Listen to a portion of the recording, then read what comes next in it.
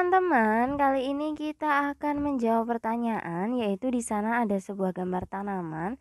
Nah, tanaman tersebut batangnya tidak berkayu tetapi dikelompokkan dalam kelompok dikotiledonae. Nah, mengapa?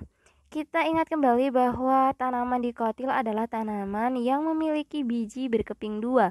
Adapun yang termasuk dalam suku tanaman dikotil adalah suku kacang-kacangan, suku terong-terongan, suku jambu-jambuan, suku jarak-jarakan, Rosaceae atau seperti mawar, apel, dan Cruciferaceae atau seperti sawi, kubis, dan lobak.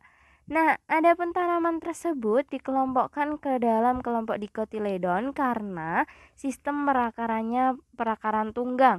Kemudian batangnya bercabang dan tulang daunnya menjari atau menyirip serta bunganya adalah 2, 4, 5 atau kelipatannya. Hal ini sesuai dengan karakteristik tanaman dikotil meskipun batang dari tanaman tersebut tidak berkayu. Nah, begitu ya teman-teman penjelasannya. Semoga bisa dipahami. Terima kasih.